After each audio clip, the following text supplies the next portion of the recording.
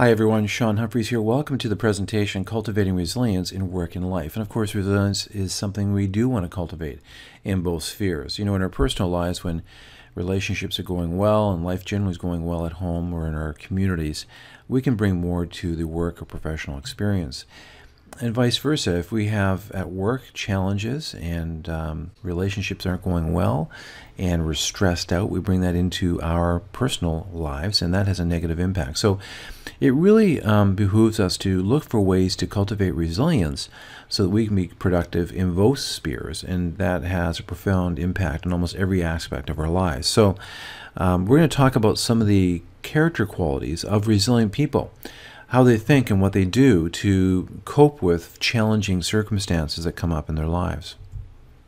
This is a great chart. On the bottom left hand side, um, we have our current location, and then the destination point is in the top right corner, of that circle in the blue. And of course, you have this chaotic series of arrows that are there to really, I guess, demonstrate or illustrate this notion that there's challenges and we can go off in tangents and we think we're going one direction, but we get headed very quickly into a different direction. Um, and life's like that, isn't it? You know, in, in work, there can be budget constraints, there could be economic downturns, there could be tax or regulatory changes.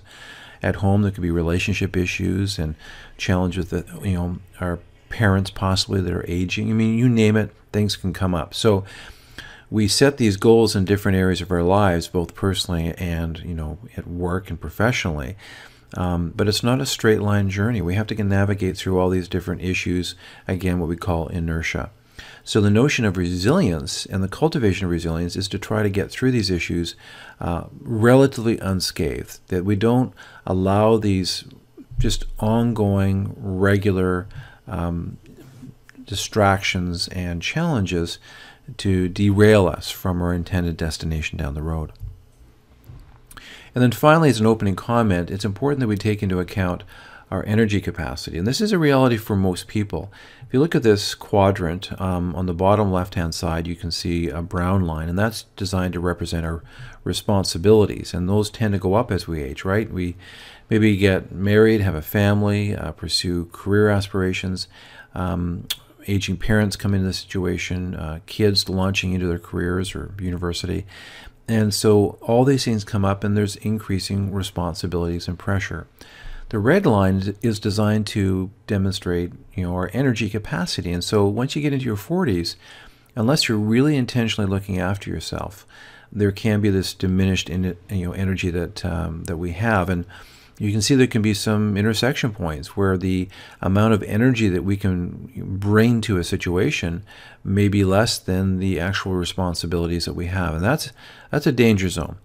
So the idea of resiliency training and having these attitudes is to push through this natural kind of energy depletion and responsibility increase and try to push back this this period in which one exceeds the other. So it's very important that we be mindful of this. It's always hovering in the background. And some ground rules um, for all of us. The journey is unique. There's no one size fits all. It's never too late to start. Sometimes we get a little bit disheartened because we have a lot of time as we look back uh, at our lives that we had wasted and hadn't gotten, gotten really engaged in some issues that we thought we probably should have, and now we regret that we haven't done that. But it's never too late to start. Baby steps work best. Don't try to chew off too much at one point in time. Um, just little incremental steps are ideal, and have an open mind as you look at various ways of solving some of your resiliency challenges.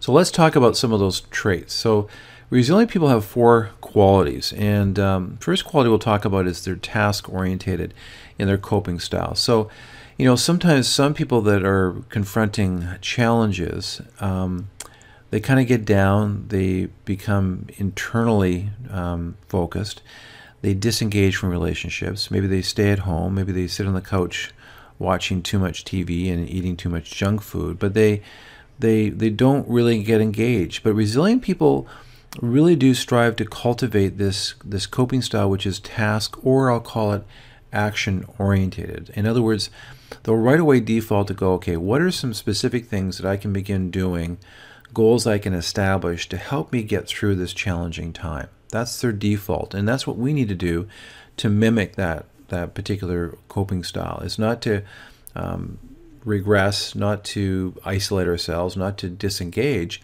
but to actually get engaged and begin drafting that list of things that we can begin doing to try to shape or change or get past this very difficult time. So, so action, becoming task oriented, really helps in many different ways. It helps us cognitively, it helps us emotionally to feel like we're, we're making some positive movement towards uh, change and getting through the difficult time. Now, they also take incremental, incremental purposeful actions. And again, probably sounds pretty straightforward, but once they develop that task orientated coping style and have a list of things that they want to act on, they begin acting on that list and they begin every day working towards these particular tasks very purposefully every day doing something, incremental movement every single day. There's a tenacity, there's a perseverance about it. And they know there's a lot of things in their life that they can't control, but what they can control in that moment are these little baby steps every day to get through these difficult times, challenging times, times when they're pursuing goals. They have a belief that they have control over outcomes. So again, it's very easy when we face difficult times is to get down, to get depressed, to feel that we have no control. Um, the world's just too big and, and scary. But the reality is, you know, we do have control. We have control over our emotions and the actions we take. And resilient people do believe that no matter how bad the circumstances are, they can, can influence for the better in some way. They don't give up that hope. And so every time they purposefully do something, they believe it's it's moving them in the direction of having some influence over the circumstances that they are experiencing. It's a very important internal trait you need to cultivate. They have a strong, uh, strong connections to other people. And again, this wouldn't be surprising. Resilient people have developed the idea to purposely develop networks and they have relationships and they cultivate deep relationships. And those relationships become extremely, extremely important when you go through difficult times because people can be a sounding board they can give you emotional support um, they can just be there to offer resources in some ways. So resilient people are resilient because they've built a network of close relationships. They're functioning as part of a community and the worst possible thing you could do when you're going through a difficult time is to retreat and become isolated and then you don't have the support of those relationships in your life now, resilience as well, as well, we need to uh, be very mindful is not is not just re reactive. And what I mean by that is we often think of, okay, some calamitous event takes place in our lives, and then we pull out our resiliency skills and we get through it. But resilience also implies that we're, we're proactive. In other words, we actually use our skills of resilience to reach out in, into areas that will improve ourselves, to challenge ourselves, to um, to really go out and try new experiences that will develop our, our abilities. Um, the connection between growing resilience and reaching out is, is critical.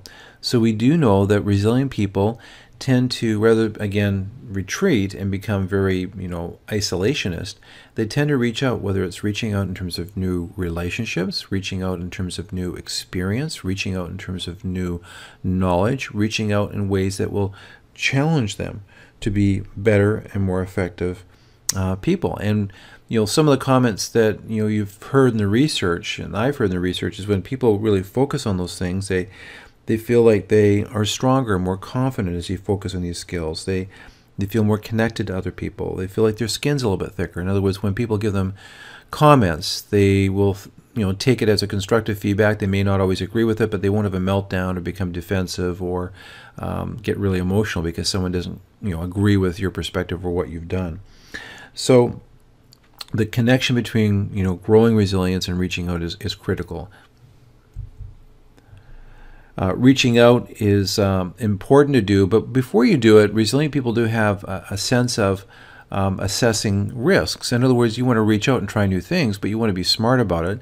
Um, you want to understand yourself really, really well because if you're not reflective and you don't understand your own unique abilities and temperament and skills and experiences, you could uh, put yourself in a situation that uh, could be harmful. It may not be a positive experience. So there's a certain amount of wisdom here about reaching out and uh, and putting yourself in a situation that will develop you and, and push you and grow you. And resilient people use these experiences to find meaning and purpose. Um, there's a lot to be said for traditions and rituals and habits and just doing things the same way on a regular basis. It it doesn't mean we have to think less, and um, and you know it saves the energy that we don't use to make decisions all the time for a higher creative kind of acts. But in saying that, when you push yourself into a reaching out mode, um, you can find new ways of, of cultivating purpose and meaning. And resilient people are constantly doing that because if you're not reaching out and getting engaged in life, that sense of meaning and purpose can slide, and resilient people are attentive to that risk. And they're comfortable expressing their thoughts and feelings. And so, resilient people are able to cultivate something that's very, very difficult uh, in our culture. So, we live in a culture where people are often afraid to speak their mind. And, and even if you speak your mind, there is a, there's a real skill set around communicating in such a way that you speak your mind, you communicate clearly, you share your thoughts and feelings and your emotions, but you do it in such a way that's respectful and um, and and done in a way that doesn't alienate relationships. It takes a lot of emotional IQ. You know, it takes a lot of social IQ in terms of the ability to express yourself clearly, to let people know where you stand, to do it in a way that supports your personal resilience, but also supports the people around you. And there's all kinds of materials out there that you know will instruct you, courses you can take. Um, but it's a very, very important thing because when people don't communicate, um, internally they start simmering and then get defensive and then you see blowouts and, hurt feelings and people are misunderstanding one another because there was never clear and effective communication.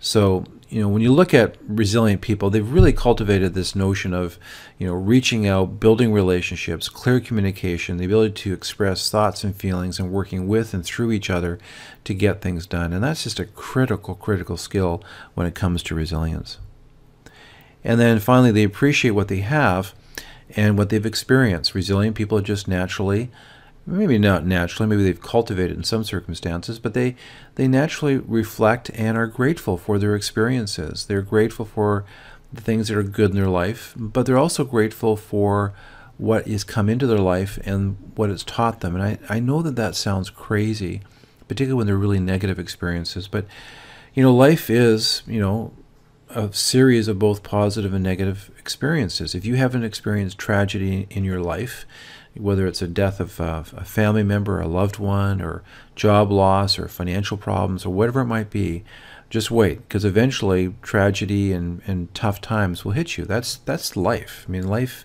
you know, throws curveballs at us. The more important question, though, is how are you going to respond to those curveballs when they do hit you? And by cultivating resiliency, you'll be able to respond to them more effectively and then learn from them. You know, I, I've heard talks all the time about people who've gone through bouts of cancer. I haven't. Um, I can't relate to this, but you hear people go, you know what, it's the best thing that ever happened to me. And you go, how in the world would someone come to that conclusion? Well, the cancer taught them something and maybe made them appreciate what they had uh, even more. And maybe it, it shaped them personally in a way that built some wonderful character qualities and perspectives that has made their life richer. And so that's what we're getting at when we say appreciate what they have and have experienced in their life. Well, I hope you enjoyed this overview. Uh, we have lots of resources on our website, so be sure to go to www.takechargeofchange.com. Uh, send, send, us an email for sure at info at takechargeofchange.com if you want more information. Uh, we do talks, regular talks um, on topics related to uh, resiliency, both professionally and uh, personally. And um, if you go to our website, there'll be lots of free content there that you can take a look at, give you tips, and um, we wish you all the best in your cultivation of personal and professional resilience.